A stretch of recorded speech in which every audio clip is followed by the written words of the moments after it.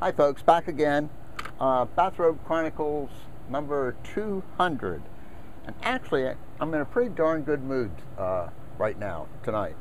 Um, I, uh, for those of you who didn't see the ones from last night, I uh, posted uh, two last night.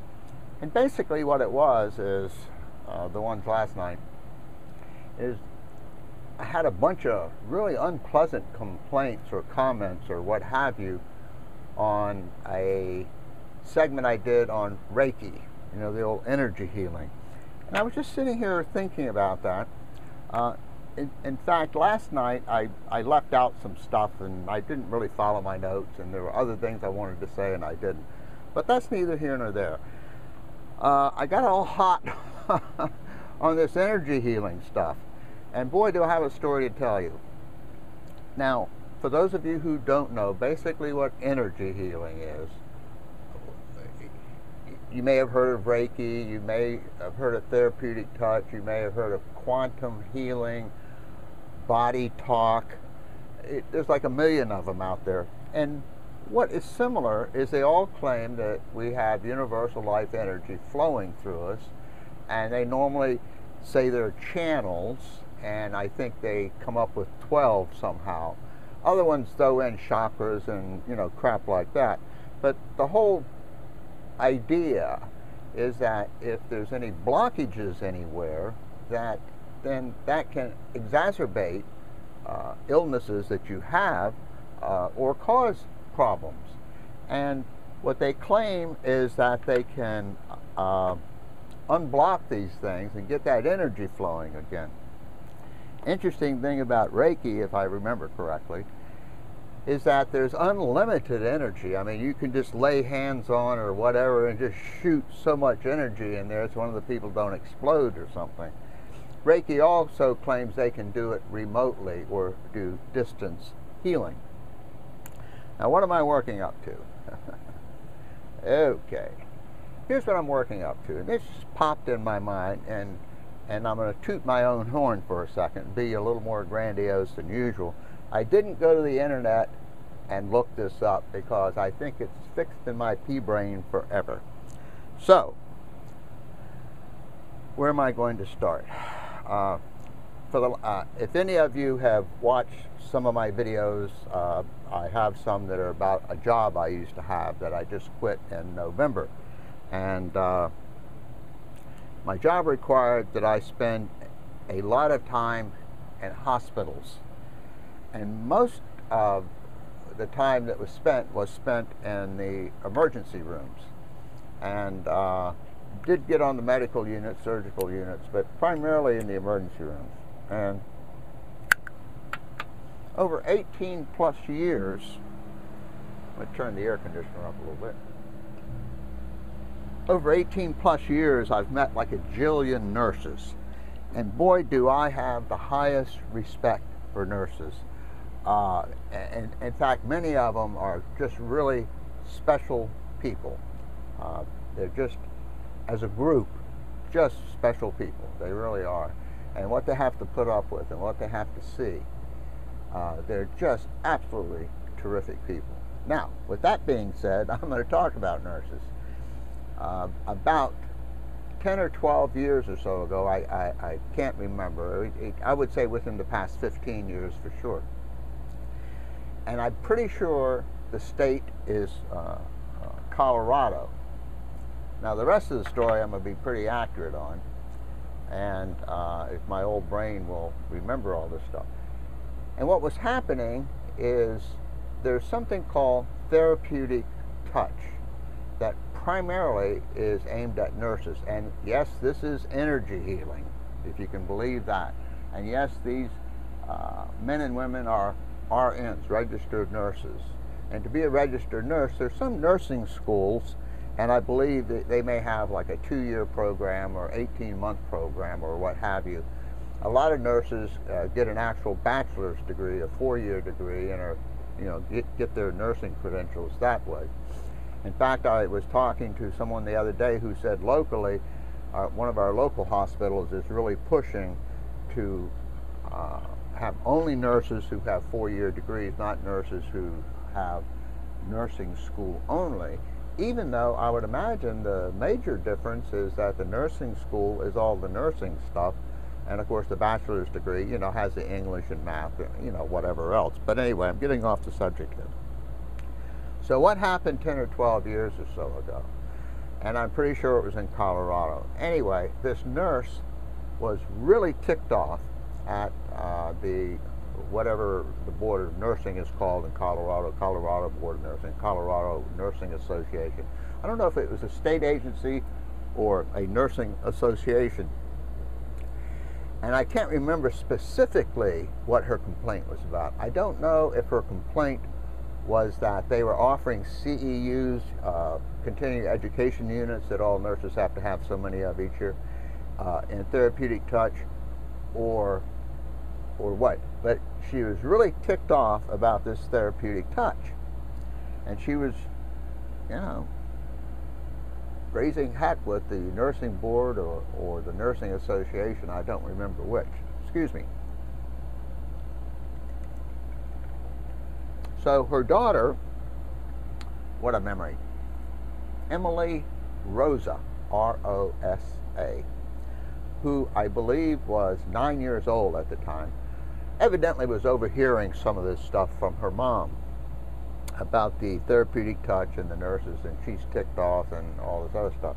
Uh, let me back up. I don't know if I told you, this was invented, that's my word, uh, this therapeutic touch uh, by a couple of nurses who I believe were teaching at a prestigious nursing school, I believe in New York City. I could be wrong about that, and I surely don't remember their names. But uh, it's also my understanding that there are 40,000 and this was maybe five or six or seven years ago. At that time, supposedly, there were about 40,000 nurses who had been trained in this therapeutic touch. So, now, what is therapeutic touch? Ironically, uh, if I remember correctly, you don't even touch people. You lay them out and you run your hands over top of them like this. Supposedly the therapeutic touch people can tell you know if there's some blockages and all this other kind of stuff and they un they may use the term and I don't know this to be true unruffling or something I don't know. And then they you know they clear all the blockages and hey you know you're ready to roll again. You're ready to get with it. So that is in essence what therapeutic touches. and as I said you don't actually touch it's just over the body so this lady in Colorado Emily's mom was really ticked off it just so happened, excuse me, that Emily needed a science project for school. Keep in mind, Emily at that time was nine or ten. I don't know, but I'm pretty sure it was nine or ten. This little kid. So what her science project was, and I'm sure Pete, if he doesn't already know everything about this, will look this up and make sure I'm pretty close. Anyway, what her project was, this is a nine or 10 year old young lady. She wanted to test therapeutic touch. Now, as I best remember, what she did is she gathered 21 experts, if you will, in therapeutic touch. These were seasoned professionals, if you will. And uh, she had a sheet of plywood, I believe, you know, four by eight or whatever it is, and she had holes cut in it, as I remember. Pete, make sure I'm straight on this one. So, what the therapeutic touch practitioners, all they had to do, as I best remember, is to determine not how much energy you have or any of that other baloney, but whether there's a human being back there, you know. And as I remember, uh, what what Emily did is I believe there was a coin toss or something to decide this, that, or the other, you know, to try and add some randomness or what have you to the experiment or trial, whatever you want to call it. But as I best remember, uh, Emily or someone would, would have a hand underneath one of the holes. And all the person had to do, now keep in mind, the therapeutic touch people say they can figure out, you know, whether your energy is high or low or whatever the heck's going on and all of that. All they had to do was say whether there was a human being there. In other words, as I best remember, and I know I'm repeating myself, uh, there would be a hand under one place or the other, or what have you. the therapeutic touch people put their hands through from the other side of the, of the uh, plywood to determine if there's a person there. I'm pretty sure I'm correct on this. Okay, what's the long and the short of all this? If I'm talking about it, obviously it didn't work. Uh, and, but here's the clincher. Nine-year-old kid, ten-year-old kid, Emily Rosa, her experiment was published in, the acronym is JAMA, J-A-M-A, the Journal of the American Medical Association. I believe that that and the New England Journal of Medicine, they're the two most prestigious medical journals, I think, that we have in the United States. This was published there in the Journal of the American Medical Association. And uh, of course, there was a huge uproar.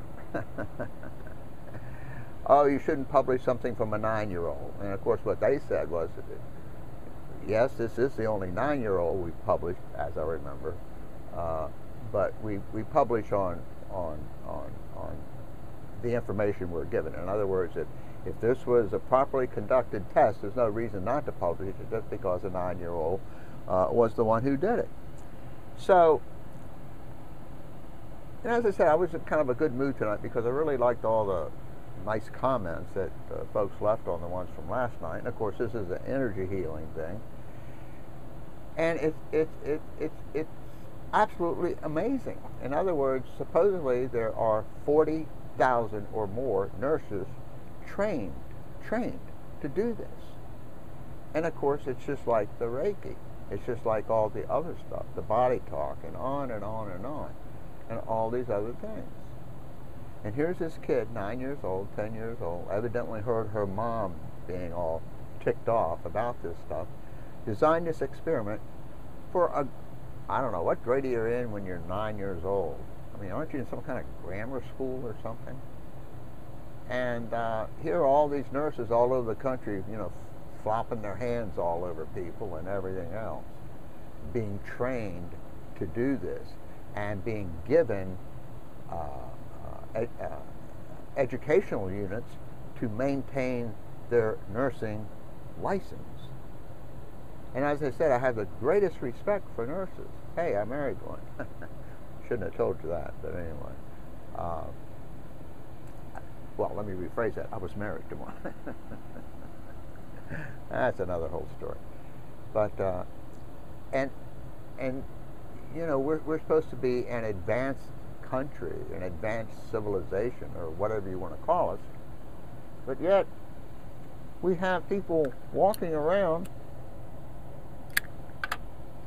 flopping their hands and saying they're healing you. Yeah, I know I ragged on this last night about the Reiki, but it's all the same crap just all the same stuff, just got a different name on it. Can you imagine going in a hospital? You're laid out there, you know, tubes and stuff hanging all in you and out of you, and then, you know, bags hanging, and somebody comes in and starts going like this.